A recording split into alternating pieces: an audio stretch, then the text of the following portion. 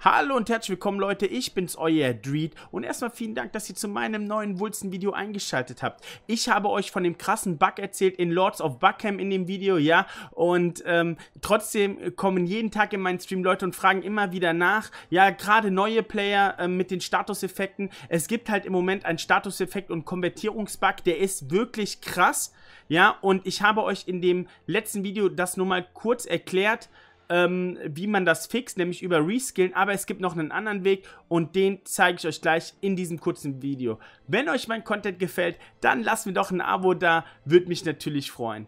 Der Bug tritt immer auf, wenn ihr euch einloggt in das Spiel. Das bedeutet, wir müssen jedes Mal, bevor wir das Spiel starten, müssen wir diesen Bug beheben.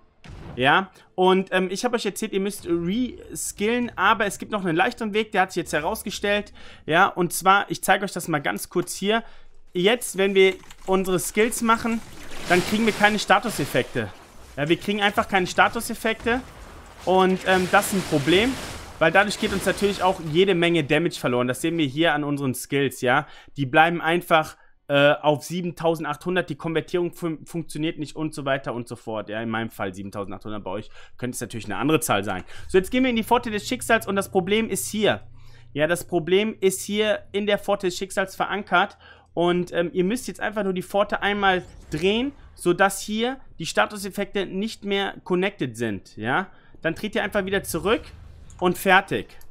Und jetzt werden wir sehen, der Bug ist gefixt.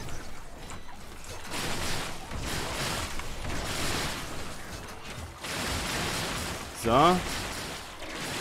Seht jetzt hier die ganzen Statuseffekte und ihr seht sofort den Damage. Ja, ein kompletter Unterschied, die Konvertierung funktioniert. Das Bild hier übrigens habe ich eben auf YouTube rausgebracht, ja, schaut einfach auf meinen Kanal vorbei, macht extrem viel Spaß, damit klärt man 187 sau schnell und sau easy. So, und das war's doch schon, muss ja nicht immer ein langes Video sein. Ich wollte euch das nur kurz erklären, nicht, dass ihr immer reskillt oder so, oder auch für neue Spieler, die das mit den Statuseffekten nicht wussten.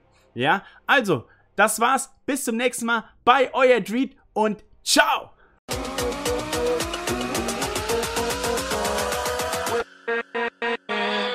With